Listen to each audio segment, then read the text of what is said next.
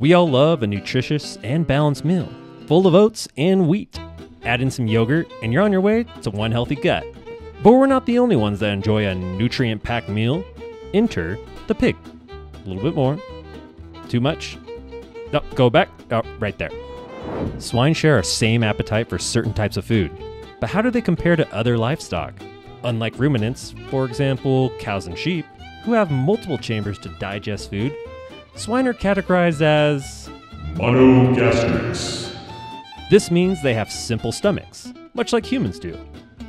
Swine are omnivores, capable of consuming animal and plant matter as part of their diets. Some questions arise when we talk about the food swine eat. 1. What do pigs eat? 2. What is the environmental footprint of swine?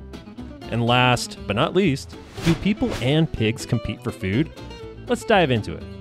You probably have images of pigs eating garbage from their trough, but that's far from the truth. Soybean, barley, corn, oats, and wheat are all common feed ingredients found in swine diets.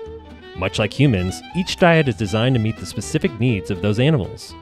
A young piglet will need protein to support growth, but a lactating sow, or mother, will need sufficient energy to support milk production for her litter.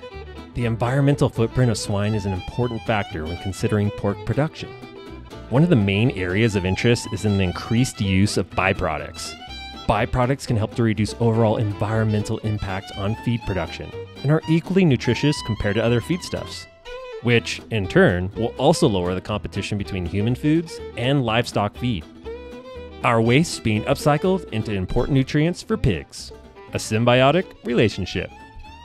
With the important research being conducted at UC Davis Clear Center and beyond, it leaves room to inspire the next generation of sustainable farming when feeding animals and humans alike.